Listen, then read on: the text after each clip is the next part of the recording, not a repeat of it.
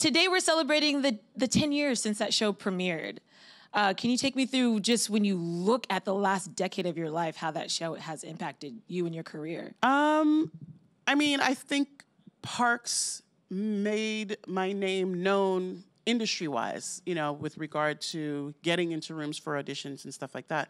Um, it gave me it was a it was a learning ground for me because you know I was essentially I was I called it glorified background because I wasn't a part of the pilot. Mike wrote me in to the to the pilot, and so I didn't really get a storyline until later. But I was like, I was happy to take the opportunity to learn what it is to be on set regularly. I had done, you know, guest spots or, you know, co-stars here and there, but I didn't really know how a set worked. I didn't, you know, I didn't know that 10-1 meant the bathroom, going to the bath. Like I learned all these things on parks.